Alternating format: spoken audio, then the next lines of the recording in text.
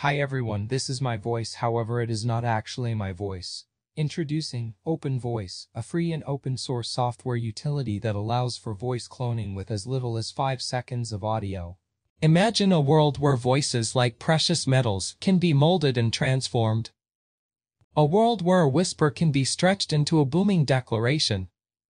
Or a raspy croon sculpted into the melody of an angel.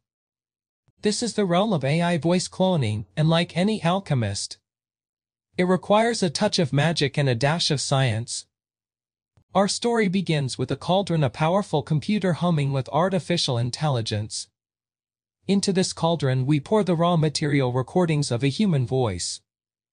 Each word, each laugh, each sigh, like shimmering drops, infuses the digital brew with the essence of the speaker. But a voice is more than just words, it's the rustle of breath the lilt of laughter, the way emotions dance in the pitch and tone. To capture this, the AI dissects the recordings, separating the elements like a skilled chef.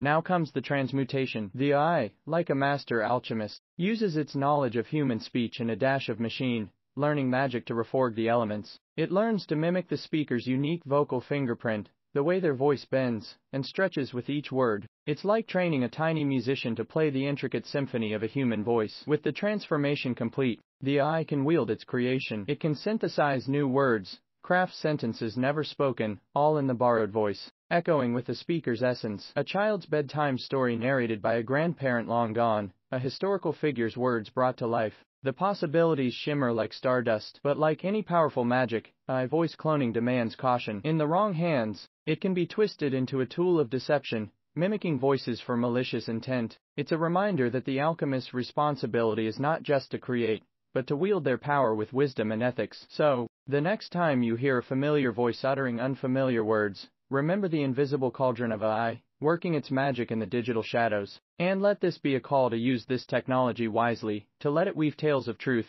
connection, and perhaps even a little bit of wonder.